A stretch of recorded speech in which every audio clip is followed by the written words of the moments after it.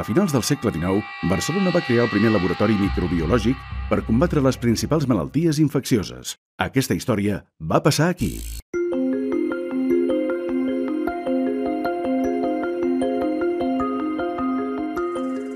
Eh, som al Laboratori de Salut Pública de Barcelona, on hi ha el llegat del doctor Jaume Ferran, un dels pares de la microbiologia, eh, o sigui, Pasteur, Koch, Wright, Ferran.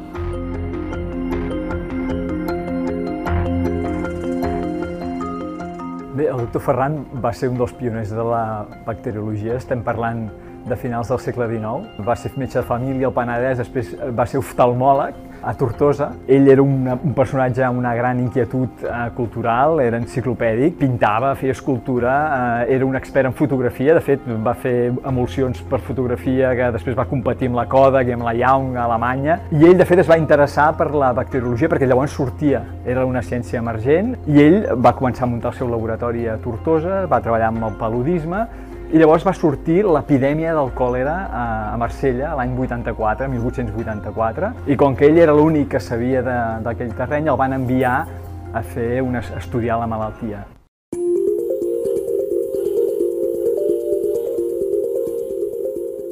I fa una sèrie de cultius, i de fet ell ja veu la, la idea de fer una vacuna, i porta un dels cultius, se l'endú cap a Barcelona. El que passa és que el paren a la frontera, l'escorcollen, el posen a la presó perquè no li deixen treure els cultius. Al final se l'amaga un mitjó i se'n va, comença a treballar amb la vacuna i un any després a València esclata l'epidèmia, amb la qual el criden i ell comença a vacunar a tota una sèrie de gent, eh, amb uns resultats espectaculars, pràcticament amb una salvació de 10 vegades, o sigui, els vacunats sobrevivien 10 vegades més que els no vacunats. Això va ser un triomf brutal. Quan el doctor Pasteur descobreix la vacuna antiràbica, l'alcalde de Barcelona, el senyor Josep Taulet, decideix fer l'Institut Antiràbic de Barcelona i ell és el fundador. De fet, és el primordi del que és el laboratori municipal eh, de salut de, de Barcelona, primordi del que és això. No? Un any després ja idea la primera vacuna antitífica i eh, posteriorment millora el sistema de la vacuna antiràbica de Pasteur fent el mètode superintensiu, que això li va permetre vacunar a moltíssima gent.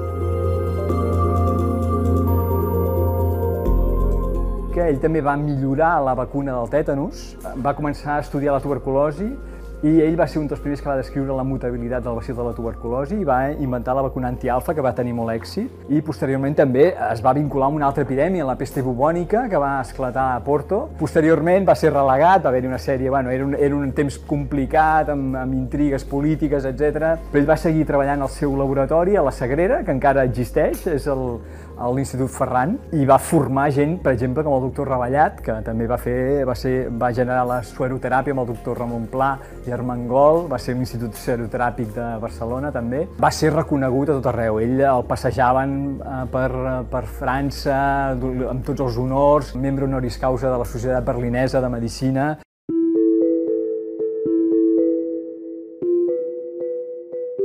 Estem parlant del segle XIX, eh, on la mortalitat per les malalties infeccioses era brutal. Penseu que l'epidèmia de, de, del còlera de València es va morir pues, això, més de 100.000 persones. En canvi, ell en va vacunar a 10.000 i pràcticament se'n van morir, em sembla que 20. De fet, a la Primera Guerra Mundial, eh, l'exèrcit francès va utilitzar la seva vacuna per vacunar els soldats. La primera causa de mortalitat eren les infeccions. No? Fixeu-vos la tuberculosi, que era la primera causa de mortalitat de la gent jove. La gent es moria, tenia de, de vida mitja pues, uns 30 anys el tètanus, tu queies als, als carrers de Barcelona, per exemple, amb els cavalls i tal, eren plens d'excrements, de, i si queies et faries, agafaves el tètanus i et mories. Les mossegades d'animals eren una de les coses més espantoses, no? La gent, a més a més, adquiria la ràbia, la gent moria d'un espasme, era una malaltia molt dolorosa, i ell va contribuir molt amb això, va fer un salt endavant brutal contra la ràbia.